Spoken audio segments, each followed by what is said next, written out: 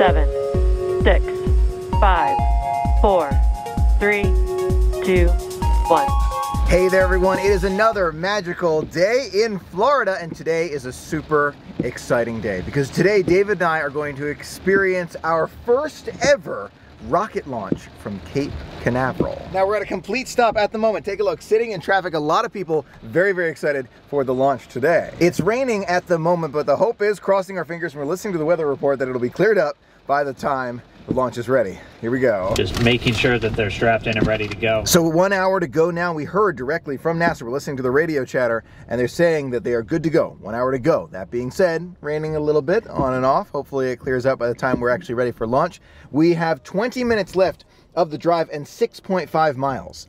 6.5 miles in 20 minutes. It's a long time. We're all sitting in traffic here, but hopefully we get to a good spot in time for the launch. Cross your fingers. And we're making our way right now. We've got 5.1 miles left and 11 minutes of traffic. We're going over a bridge here that we've used to get to Port Canaveral, and you can see there are cars lining up right over here with a view of NASA right over there. I can see one of the large buildings. I don't think I can see the pad from here, but I can see one of those very, very large buildings they use to construct the shuttle. You've seen pictures of it before, but some uh, some NASA and space enthusiasts are already standing by right there. So we've got just about 41 minutes to go before liftoff. Everything looks good. Weather's looking good now. Rain has stopped. It's going to be so, so exciting. Our first launch and the first launch of, of man and men and women, humanity, going into space from the United States in nine years. I'm so excited for it. It's going to be great. Just about 28 minutes to go. Let's head on out. We made it. You can see I actually parked the car in the grass. We are in the grass right here. I think it's the first time I've driven and parked in grass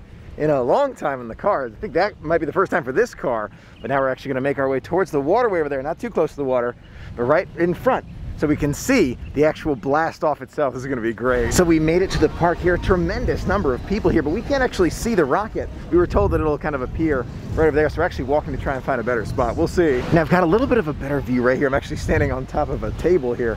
You can, you can kind of see a little bit, but it's still pretty far off, pretty far off. I think we'll be able to kind of get a sense of it launching, but I think we uh, may have to find better spots in the future. All right, Dave, how excited are you? 15 minutes to go. I'm so ready for it. Very exciting. It's gonna be amazing, truly amazing. Never seen it before. I think this is as close as we're gonna be able to get today, but hopefully we'll be able to see other launches as well, maybe a little bit closer. Well, we tried on that table, but I don't know if it's working quite as well. I think actually this spot might be better, so I think we might try this. Lots of people all around. You can see tons and tons of Floridians ready for this. You can see a lot of people are actually trying to put their boats in the water at the last moment moment here. We have, let's see, what time is it? 12 after, so just about 10 minutes to go. And people are trying to get their boats in the water. Wow. Take a look at all the people around here ready to see this launch. It's definitely a crowded day. A lot of people very excited for this historic event. Now in the future, I do hope to be a little bit more prepared so that maybe we can get a ticket to actually sit at the Kennedy Space Center to see it. This is a historic one, so you know, we came out of here just to kind of see it, knew it would be a lot of fun, but uh, in the future, I want to see those launches from Space Center. All right, now I'm going to switch out for the longer lens so we can experience it together. Here we go.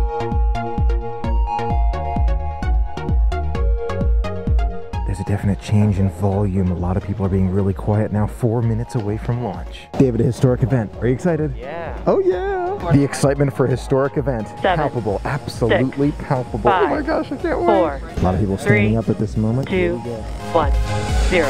Ignition. Liftoff Falcon 9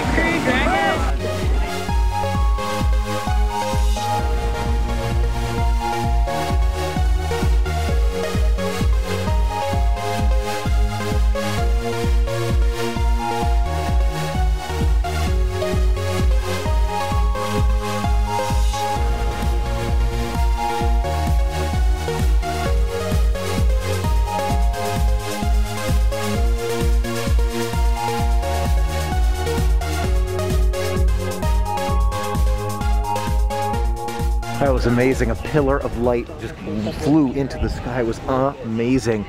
We're just, we're all just here, just in mouth agape, mouth agape as we're watching this. There was a cloud in the way, so we couldn't see it go all the way up, but wow. Oh my gosh. Godspeed to those two astronauts.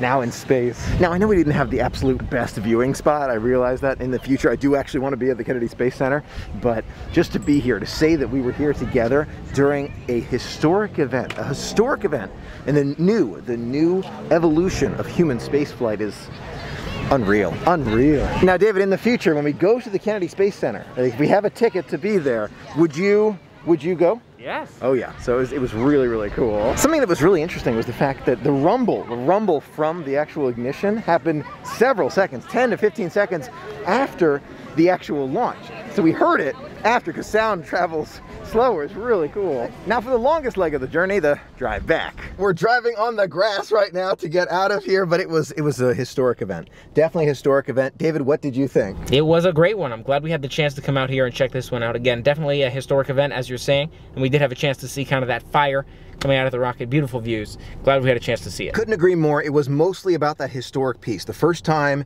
in nine years that human beings have launched off from the United States and the first time SpaceX has sent people into space. So we're thinking of those astronauts right now. As we're sitting here, they are still feeling those G's flying into space. It's an amazing feeling just to kind of be a part of that moment with them right here. We, we were close. We were close. We saw the fire in the sky, but next time, even closer. Thanks so much for being a part of the magic and adventure with us today. It was so much fun sharing it all with you. Until next time, have a magical day and see you real soon.